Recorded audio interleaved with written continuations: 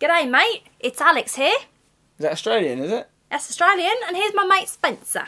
Howdy, mate. I'm also from Australia today. Why are we doing Australian? Well, I thought it would change things up. I'm really rubbish at accents. Hello. Alex and Spencer, as normal. And what are we doing today? Today we are doing 30 facts about us. Alex saw some people make videos where you, you give some quick facts about yourself to let your audience get to know you a bit better, and we thought we could do that and share some of our secrets. I killed a man. I didn't kill a man. It was, a, it was a little boy. Let's get on with it. Okay, here we go. 30 facts about Spencer and Alex. Go. Coming at you. Spencer and I met in the first year of university, but we didn't start going out until after uni. I went to a couple of different schools, like primary schools, secondary schools, what have you, but I went to the same primary school as Frank Lampard, the footballer, and Joe Thomas, the Inbetweener, went to my secondary school. Did he go to you? They were never there when I was there. Oh. I never even saw them, never met them. I am half Polish, half American, but fully English. How does that work? Well, I was brought up in England, but I've got heritage roots in Poland and America. But I feel fully British. All of my immediate family, so my mum, my dad, and I've got two brothers, we all begin with S. We've got Spencer, and we've got my dad called Steve, my mum's called Sindy, uh, with an S, and then my brothers are called Seb, as in Sebastian, and Saunders. There are only seven people in the world with my surname, and they all belong in my family. It's a rare surname. It's very rare. OSIP CZAK. When I was at secondary school in year 7 and 8, uh, I used to represent the school quiz team, which was fun. Buzz. So I'm so intellectually intellectual.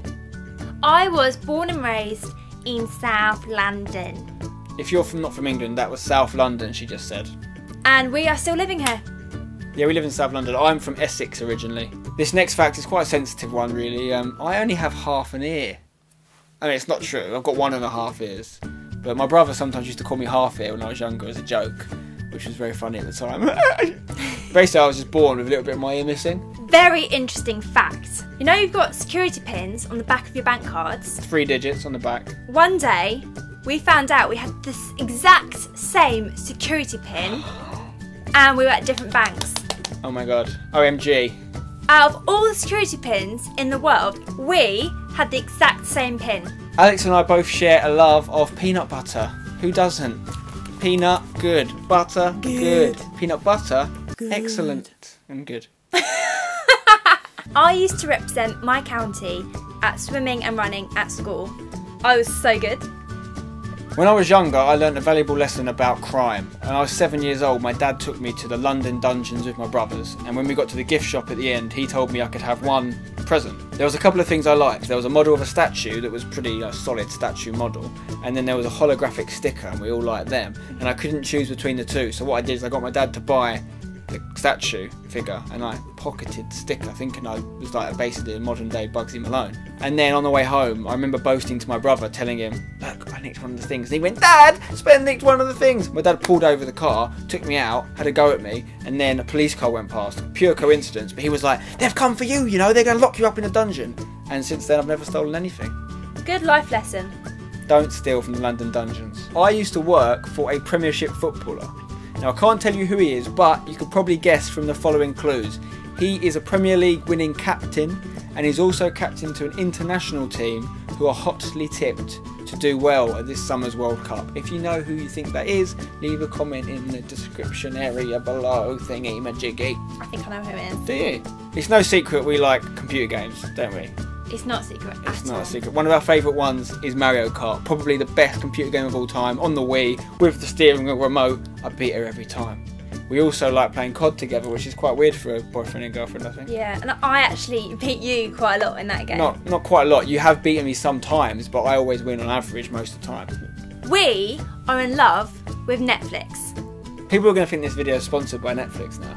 It's definitely not, because to be fair, there is a lot of rubbish on Netflix. We have been loving Arrested Development, then we were on Breaking Bad. Yep. Uh, recently, we checked out House of Cards, and they're all so good. And you just end up watching about seven episodes in a row. And every time one finishes, it starts the next one. It says in five seconds, a next episode's going to start. And you sort of you look at each other and you go? "Shall we?" Eh? Eh? Now, my mum is quite funny, really. She um, has been on TV a lot. She is obsessed with being a guest on quiz shows. She's actually been on so many different TV quiz shows. She's been on some of these that don't even exist anymore. Crystal Maze, Wipeout, uh, Love in the afternoon. Love in the Afternoon, Wheel of Fortune, uh, Pets Win Prizes. Uh, there's a lot more I can't even think of right now. Basically, if you could think of like a 90s TV quiz show, my mum was probably on it. We like to keep fit, I think you can tell by looking at us. And a couple of years ago, I did something called the Great River Race, which is like a river marathon. We were in a boat and we had to row uh, 23 miles along the Thames. Last year I did the London Sprint Triathlon. I think I pretty much just smashed it. So Smashed out the park, Yeah. mate.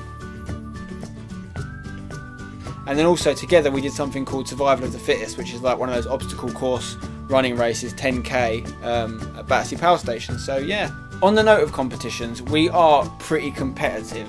We're the- so competitive. Oh, I'm, I'm more competitive than you are. No, I'm. I think I'm more. Competitive. I think I'm the best at being competitive. I'm also very modest. Our competitiveness has got quite not difficult now. Basically, if we go around our friend's house and stuff, they usually have some kind of competition prepared.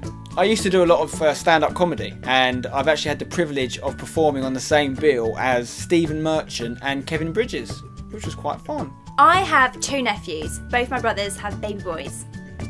My brothers have no children. My mum and dad got married on an aeroplane. When I was seven years old, I was technically left on my own in France, abandoned by my family. Um, I could give, go into more detail to make it sound like they're not that bad, but I'm just going to leave it at that. I was left in France at seven. S'il vous plaît. That's why I speak French now. Bonjour. Alex and I both have brothers who are very talented sportsmen. Alex's brother Nick is a MMA fighter. He's been in the UFC. He was on a show called The Ultimate Fighter. He's a dangerous man. Don't mess with him. Or me.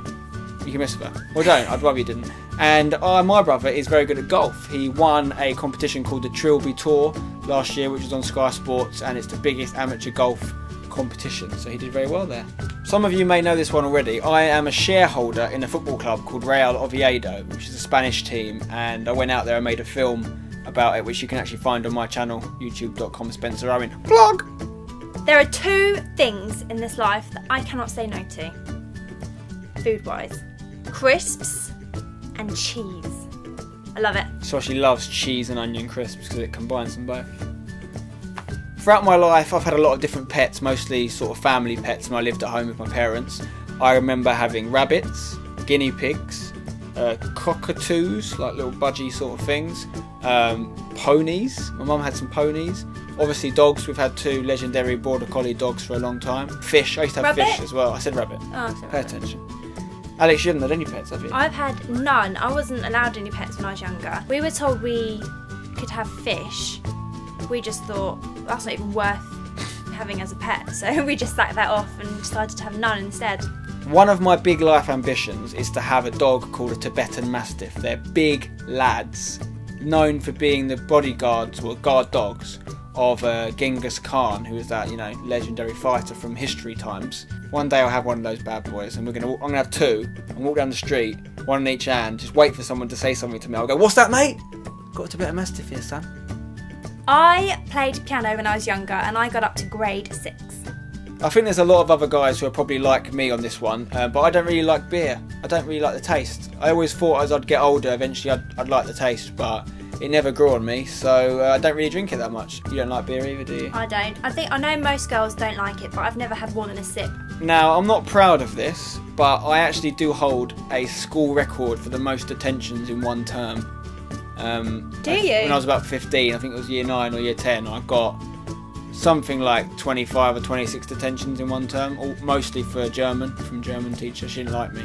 Those are all the facts from us. If you liked this sort of video, then please let us know in the comments below and give it a thumbs up. Sure, and let us know what sort of content you want to see on the channel going forward, and subscribe if you haven't already. I've been Spencer, she's been. Alex, Bye. bye. What's an Essex girl's favourite wine? Can we go to Lakeside?